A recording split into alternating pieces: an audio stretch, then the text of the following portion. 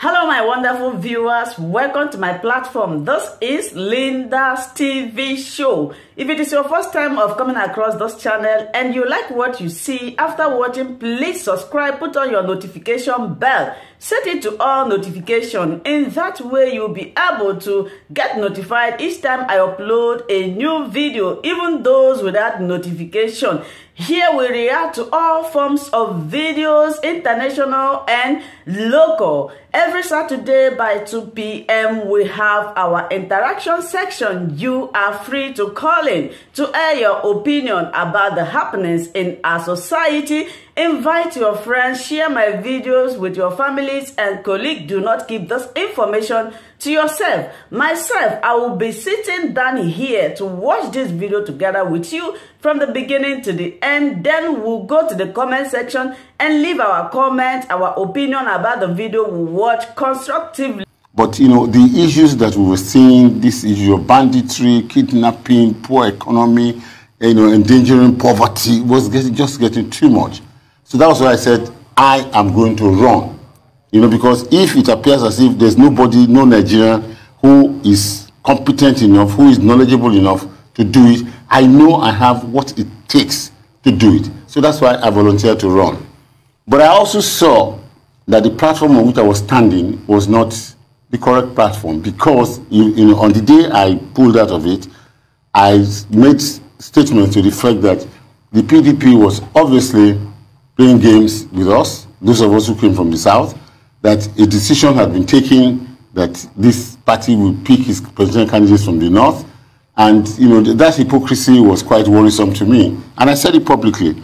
And I have improved right because against all odds, PDP still went ahead and against the interests and uh, uh, aspirations of majority of Southerners, you know. Now APC has stolen the show by you know their governors coming up and saying you know power must shift to the south, which is which was the mantra that we pleaded. So when I knew that was not going to happen, I said that I was going to step out of it.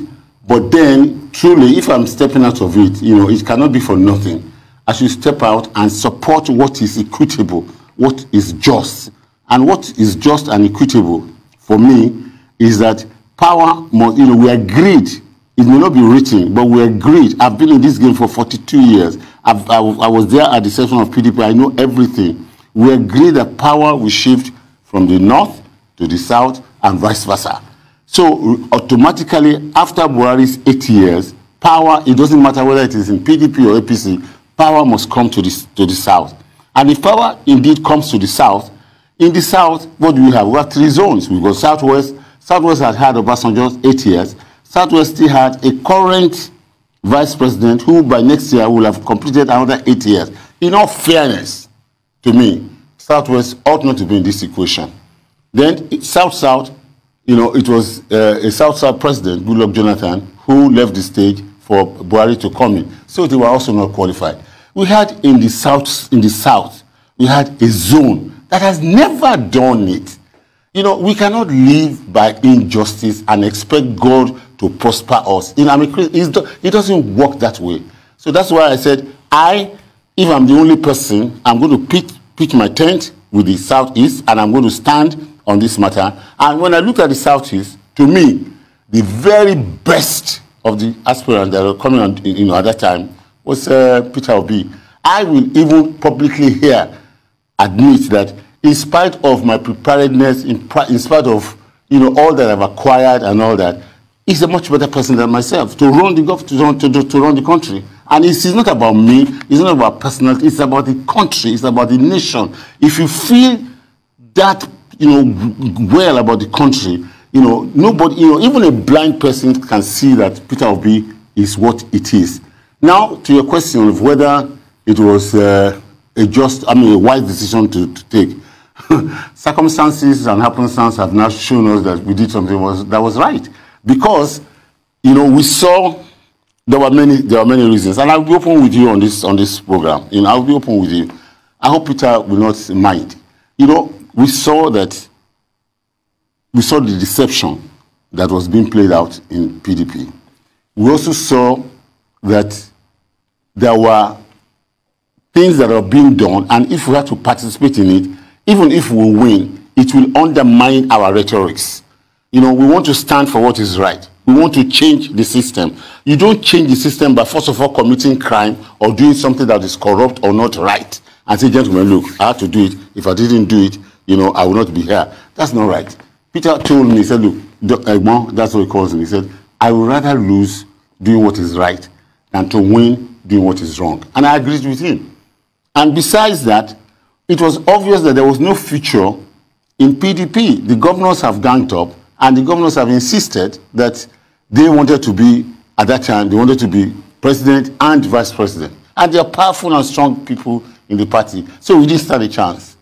And if we are not left, today, you know, the aspirations of Peter Obi, his, poten- I mean, his potentials would have all been dead and buried. And not only that, not only that, today, Peter Obi is on the ticket. And, you know, for goodness sake, somebody from eastern Nigeria is on the Nigerian ticket. Even if that is what he has achieved, is good enough. But you must admit that your party, the Labour Party, has a lot to do in terms of matching the two major political parties. That are you joking? APC are you joking? what? Yes, but what strategies are you um, employing to bridge this gap? And how optimistic are you that Obi will match uh, a Tinubu and an Atiku toe to toe in just about eight months? Well, now that you mentioned Tinubu, let me also seize this opportunity to congratulate uh, Bola Ahmed Tinubu for doing something that was absolutely impossible. Uh, I congratulate him. Uh, I know he's a very astute politician, very dogged fighter, and he has done uh, the act of the impossible. And we really, really wish him well. But talking about the Labour Party, the, the Labour Party is, is a small party. There's no doubt about it. And that's why people are a little bit worried that, you know, have, have we done what is right or what is reasonable? But you see, in these times, in the, you know, these are not the these are not usual times. Look, I'll give you just one example. In the last 20 years, INEC has been has spent billions and billions of naira on voter education and encouraging voters to come and vote. But a gentleman now decides, I'm going to run for president I am in this party and I'm asking you, gentlemen, I mean youths of Nigeria, go out and register. And there's a whole tsunami. So, you know, people, you know, people in this country, the political establishment in Nigeria is totally unprepared for what is coming. There is a major revolution, political revolution that is in the wake, but it is presently imperceptible for those who are not looking. I've, I've listened to, you know, to commentators and all that, when they talk, they say, well, uh, who's going to win between Atiku and uh, Bola Tinubu? And I just laugh. None of these two parties will win. And that's the truth. Because, you know, look, this is an old odd. This, the two, as I mean, you know, when we used to say, I said it before, when I, even when I was in PDP, I said that there was no difference any longer between the PDP and the APC. And all that has been proved, proved right because the present chairman of PDP, you know, I mean, of APC was an, a PDP man. The secretary Omisore was a PDP a senator. You know, even Atiku himself that is contesting under PDP today contested under APC before. So these are two, they are not even twins. They are just one block divided into two. You know, and but the, belong, the essential thing is that APC and PDP belong to an old order that is fading and passing away. And it comes like that in the history of any nation. These two pillars will crash. There's nothing anybody can do about it. The, what is coming up is a, a youth revolution in this country.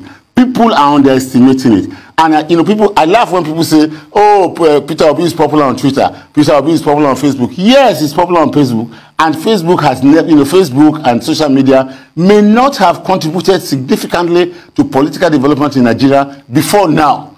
But they will matter now because we have the key. We are going to use what it takes to unleash them on the political system. There are over 32 million, 32 million, you know, uh, Nigerians on Facebook, I mean, on, on, on the social media. 24 of them on Facebook, about uh, 30.9 or so are on WhatsApp. Now, 10, you know, 40% of that, you know, come, you know, getting PVC and voting will shock PDP and APC. We will, we will, you know, by the time uh, Obi wins this election, he will, he will win with a margin that will be more than the votes of PDP and, A- and APC added together. You will see. It is not, it is going to be by youth power.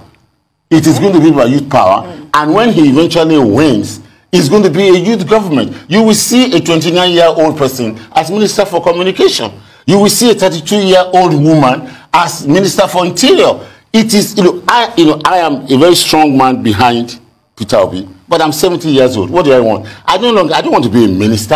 I have passed that. When I was working for Obasanjo, minister used to come to my office to lobby me to see the president, to get something from the president. So what I want to do, you know, that was how many years ago? More than 20 years ago. There's that general notion that those numbers that you just quoted are just numbers, and those people don't go out to vote. Yes, those are not the I- I- that are voting. Yes, my dear, I accept. They do it, but they are numbers, they're human beings, they're Nigerians. But guess what? They are angered. They have a visceral motivation. They want to take part. They want to take their country back. And they are, you know, they are, they are educated, they are mobile, they, you know, they, they are active. They themselves. Have you seen this video about people trying to get PVC? Yes, what do you make which of those is where we were going to go with, with this as well, because of course you're talking as I'm just you praying. just I'm just, we have I'm just, numbers. I'm just pray- praying that uh, that uh, INEC will rise to the occasion. All right, by making Well, sure that they released every a statement. Did you? What? They, they did release a statement that they will extend registration. which is which is and I read it and you know that is very commendable. But extend they must extend the regis- registration. They must make sure that materials are available.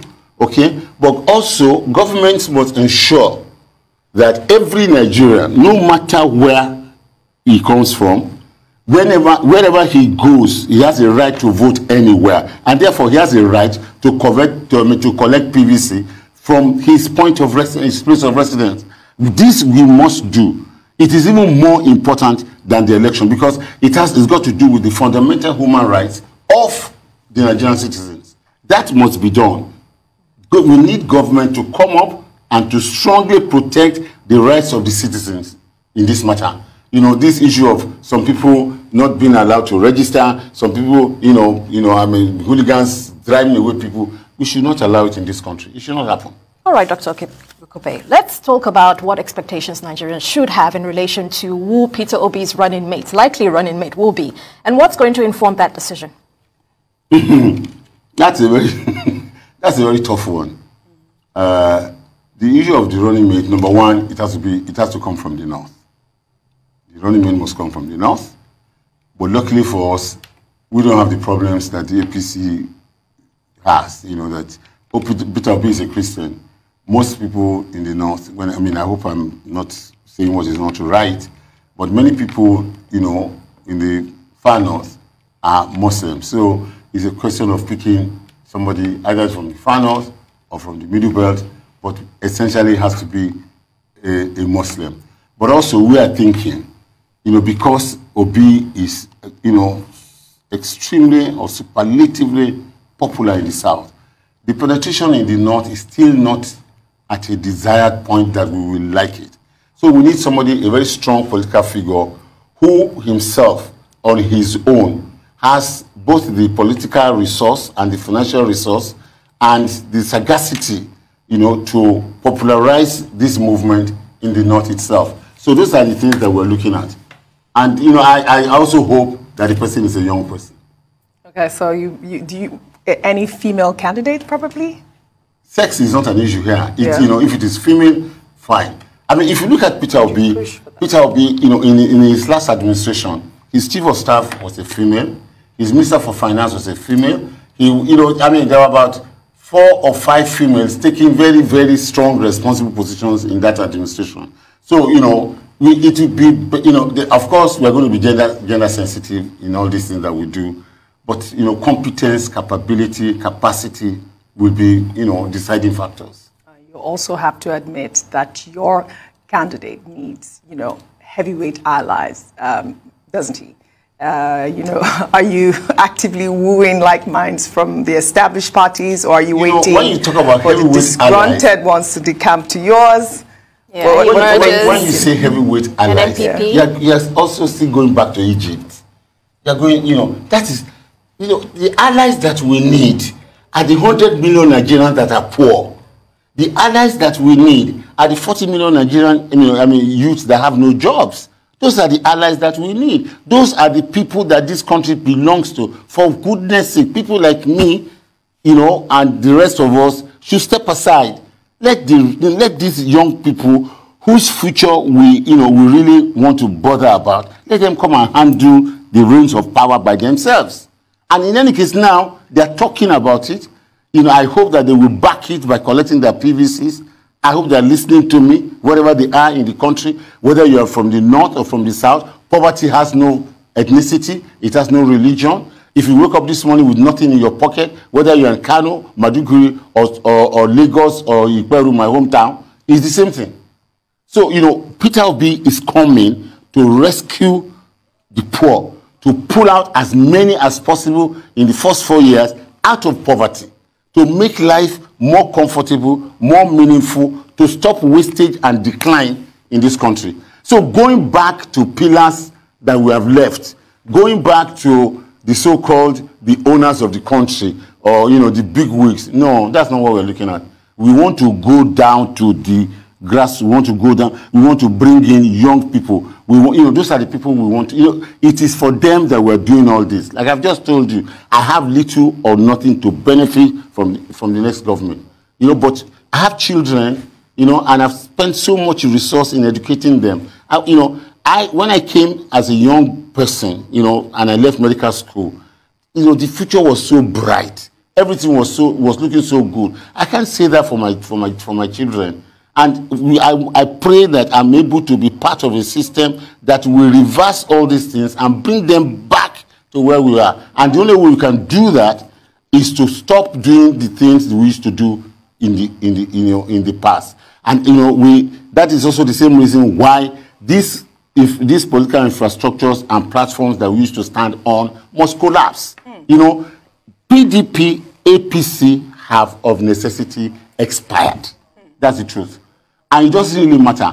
You know, Bola, you know, uh, uh, Atiku Abubakar, great guy. You know, I've worked with him. In fact, I mean, he was one of those who, you know, led me into, you know, he and uh, Yomi Edu were the people who led me into, uh, into Obasanjo's regime. Bola Tinubu, my great friend, we were in the trenches together in Nadeco. But our time has gone. Our time has passed. Are you saying your party, the Labour Party, does not need any heavyweight to succeed this We don't election? need any heavyweight. Let me tell you about Labour Party. I'm glad you answered, answered Yes. that question. We don't need any heavyweight. The greatest political infrastructure in the country today is the Labour. But you see, they do not understand who they are until we came. The, you you know, the Labour emanated or came out of our colonial past. You know, in the colonial past, the, the whites were on top, were, you know, they were in charge. So people who are working, you know, were, I mean, their leadership were, were interested only in their well-being and welfare. They never conceived the idea that they can actually ever rule. So what we're saying now is that, look, you people are the workers. You are, when, when Peter says, let us move from consumption to production, he's talking about let us include, let us bring in the Nigerian workers, all right, into what, whatever we're doing. Tell me, let me tell you what, what, what, Labour, what NLC, I mean, what the Labour Party encompasses of. Labour Party has the NLC in it. The NLC has a, regi- a registered membership of 5 million Nigerians. 5 million Nigerians. Without their families, though. They have TUC. TUC has a membership of 8 million Nigerians. You know, there are a Nigerian Union of Teachers, there's uh, road transport workers, there are, you know, there are professionals. This is the biggest thing in the, you don't need anybody. This is the biggest thing. And we're going to arouse this giant. We're going to wake this, the Nigerian workers and we're going to unleash them on the political system. Nigeria will not have seen what is coming. I'm telling you. Manifesto wise, what should we expect? Of course, we've talking about the labor here It's been a very important factor, but let's talk about the economy, infrastructure. Education is an area that Peter has been quite big on. Let's talk about what Peter is bringing to the table. That is not currently existing. We have a manifesto that has been done, a draft, but you know we are unable to make it public because you know we've now taken a new toga. a toga of labor. I know labor is highly ideological. You understand? So it will be presumptuous of us to force I mean, our, our, our, our manifesto on them. We are just operators and operatives. The real party is the labor movement. So they must have very serious influence on whatever we're going to tell Nigerian people that we're going to do. Because, you know, wholesomely, everybody says we don't have structure. That is true. But the structure we have is labor. So we cannot do anything without them. But whatever we do, whatever our manifestos will be, is going to reflect a lot on the labor ideology, which is, you know, which, which, is, which centers around workers, you know, and their, you know, and their welfare. So this is what we're going to do. But basically, basically, the theme that will run across that manifesto is moving from consumption to production. Yeah. I wanted to take you back on, you know, the heavyweights that you are saying you may not need. Uh, I'm not saying we may not, we don't. You will not need for the Labour Party. But if, if they come, it's fine, no problem. Okay. But we're not searching for heavyweights. Right. We are looking for Nigerian youths. We are looking for young people, right. women and men. Were to um, analyze the APC primaries that, you know, uh, brought uh, Asiwaju Bola Ahmed Tinubu uh, as the uh, flag bearer, would you say that that could replicate during the 2023 general election? And, and how would your party stand uh, a competitive uh, election like that? You know, you're, you're speaking like the Jews. You know, you when, so. Christ, when Christ came, they didn't see him, they didn't know. You're still talking about what, what happens at the APC, APC convention. Reflecting, I'm telling you that before the 2023 elections, APC, PDP will have kaput. They, they, they have no relevance on what will happen subsequently. These young people are coming and they are going to take over, whether we like it or not. We are just operating as guides. We're going to guide them, we're going to moderate and modulate them, we're going to help to stabilize them. It is their government that is coming in. It has nothing to do with APC, nothing to do with PDP. These are you know, sep- political sepulchres. The, the, the, it's finished. You know, that's what Christ said on the cross. He said, It is finished. For APC, for PDP, it is finished. You mean you talk about you know the label, and I'm still stuck on that because you're talking about the youth, which is you capitalize on it. In what ways are you reaching this youth? A lot of these guys, when you talk about production to um, consumption to production, it goes over their heads. Really, you're talking to some of them are laymen. They don't understand how exactly this is going to happen. They might want to see change, but what ways are you communicating and sensitizing this youth? Thank you very much. You know, it's the ways that people are criticizing us on. We're, you know, we are employing a lot of social media connections and contacts. Because in any case, 80% of people on social media are the young people.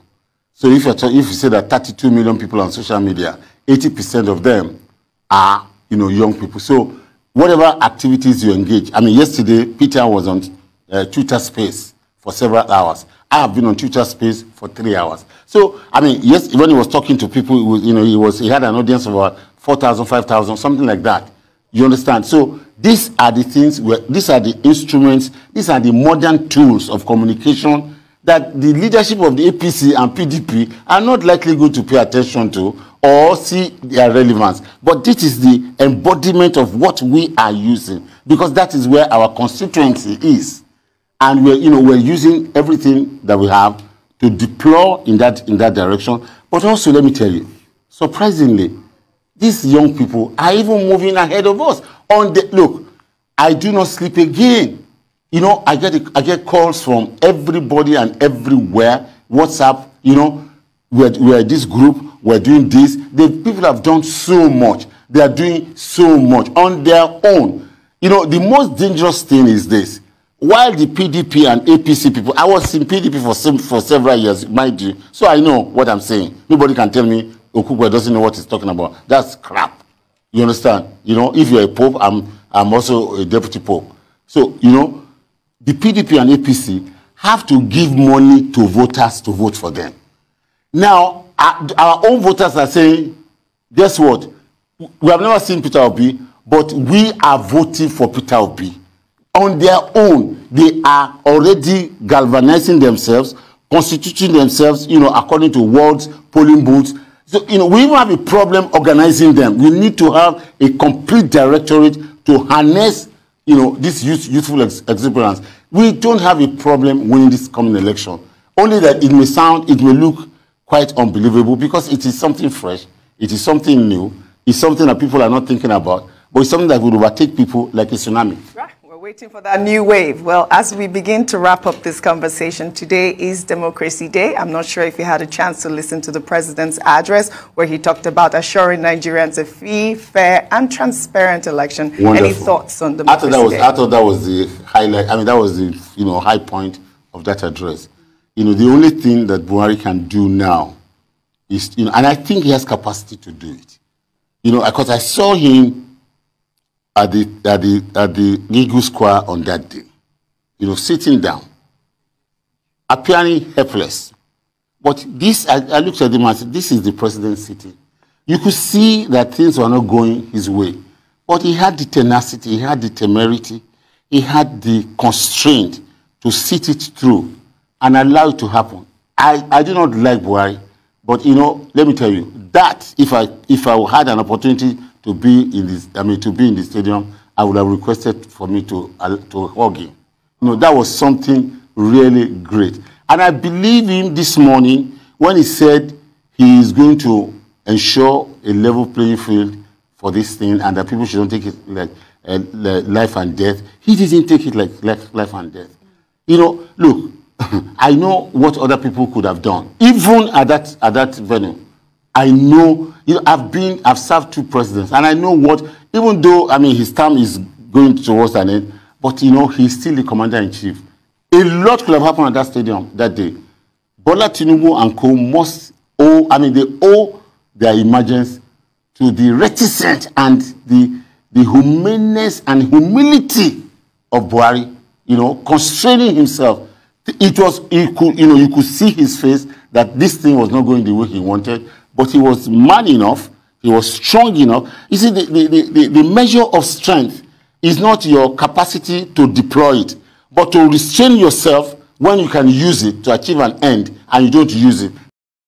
Thank you so much, my wonderful viewers, for watching this video together with me from the beginning to the end. Like I said before, if you like what you see here, if you like what I do in this platform, as you have finished watching this video, please hit that red button that says subscribe and put on your notification bell to all notification. In that way, you'll be able to know when I upload a new video. Share my videos, leave your comments in the comment section constructively. Until I meet your way again in my next video, I still remain your Linda's TV show. Bye-bye.